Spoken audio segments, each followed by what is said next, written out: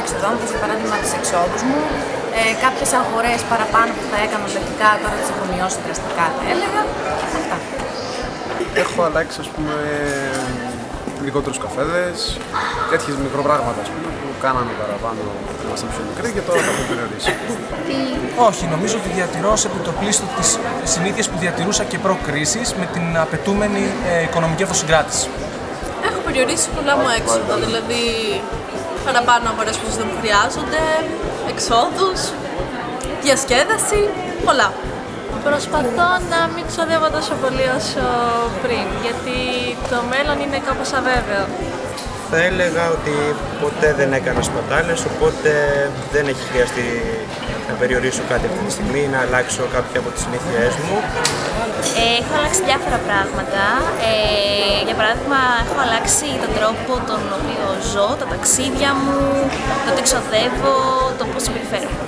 Ε, σίγουρα προσπαθώ όσο λιγότερο να ξοδεύω, γιατί δεν βγάζω και δικά μου χρήματα, αλλά κυρίως και νομίζω είναι πολύ σημαντικό το ότι με αυτή την κρίση ε, έχουμε αποκτήσει ένα κίνητρο και είμαστε πιο ενεργοί ως νέοι, ενώ ίσως οι προηγούμενες γενιές στην ηλικία μας να μην ήταν τόσο ενεργοί, να μην το έψαχναν τόσο πολύ.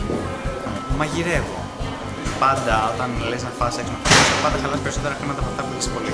Ξεκίνησα να μαγειρεύω και γενικότερα να περιορίσω και άλλου τύπου έξοδα.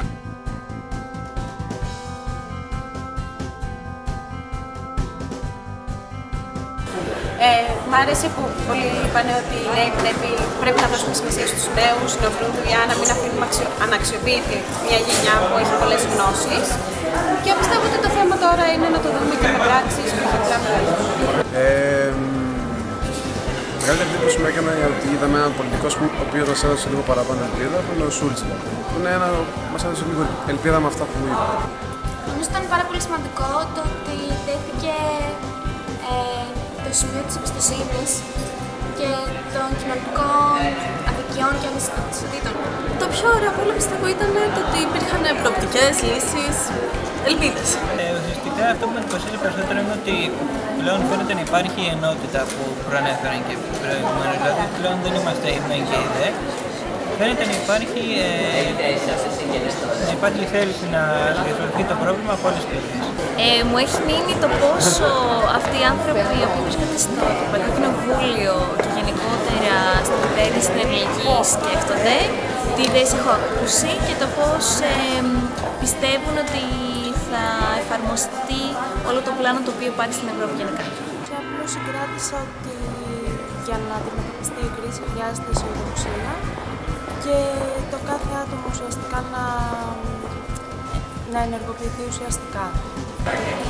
Η αλήθεια είναι ότι μου κάνει εντύπωση που συζητάμε για το Νότο και την ανάπτυξη, ενώ ταυτόχρονα αφήνουμε να ερούνται σενάρια περί νέου μνημονίου για την Ελλάδα και περί κουρέματος των καταθέσεων, χθες μάλιστα από τον Γερμανό Υπουργό Οικονομικών.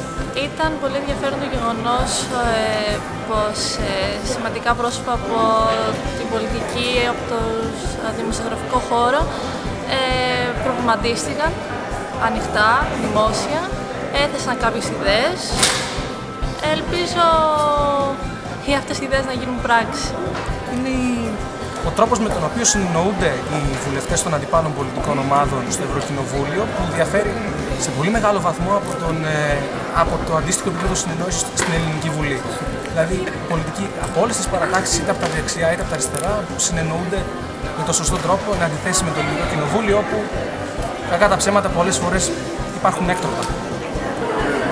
Το ότι είναι τόσο θετικοί ακόμα; Δηλαδή, ακόμα υποστηρίζουν το ευρωπαϊκό ότι δεν παραδέχονται ότι έχουν κάνει κάποια πράγματα λάθος. Δηλαδή, το θεωρώ λάθος. Δηλαδή, θεωρούμε ότι για να φτάσουν μέχρι εδώ, κάποια πράγματα που έγιναν στην Ευρωπαϊκή Ένωση και κάποιες αποφάσεις που δίνουν λογικά δεν είναι σωστές. Δυστυχώς δεν έχει βγει κάποιος μπροστά να παραδεχτεί κάτι τέτοιο. Το θεωρώ λάθος.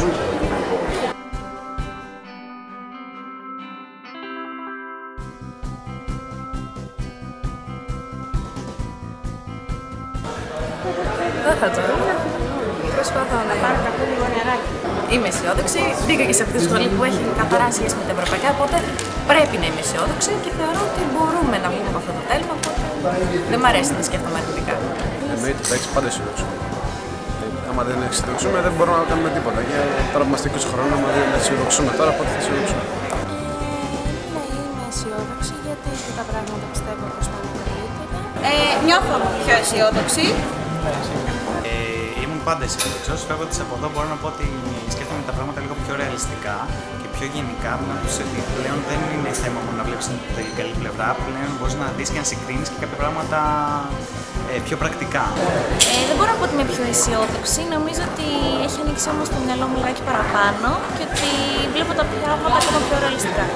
Θα έλεγα πως είμαι, ναι, είμαι λίγο περισσότερο αισιόδοξος από ό,τι πριν, αλλά πιστεύω πως χρειάζεται ακόμη μεγάλη προσπάθεια από μέρους των ευρωπαϊκών οργάνων που μας εκπροσωπούν.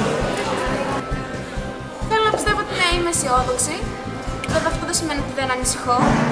Σίγουρα από τη στιγμή που θα, αν υπάρξει η απαιτούμενη βούληση από τους πολιτικούς ηγέτες της Ευρώπης, όλα μπορούν να αλλάξουν σε όλους τους τομείς. Σίγουρα, μετά από μια τέτοια εκδήλωση, σίγουρα πιο αισιόδοξη. Θέλω, ναι, να είμαι αισιόδοξη. Πιστεύω σε ένα καλύτερο μέλλον, ναι.